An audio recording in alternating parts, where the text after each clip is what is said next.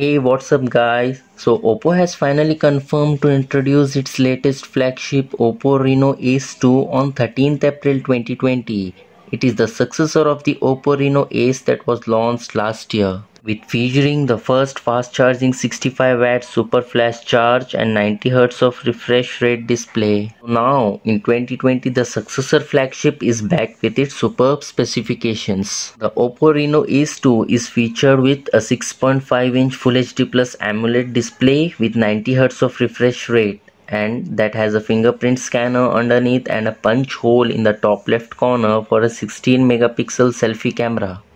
On the opposite side you will get a quad camera setup of circular arrangement with primary camera as 48 megapixel, 8 megapixel ultra wide and two modules of 2 megapixel camera which will be macro and depth sensor.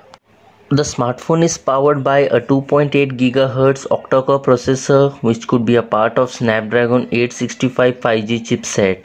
It works on the latest ColorOS 7.1 based on Android 10. Also, it supports dual 5G mode. It is packed with a 4000 mAh battery which supports Super VOOC 2.0 flash charge which has a charging capacity up to 65 watt but it also supports 40 watts of wireless charging through a special Air VOOC charger.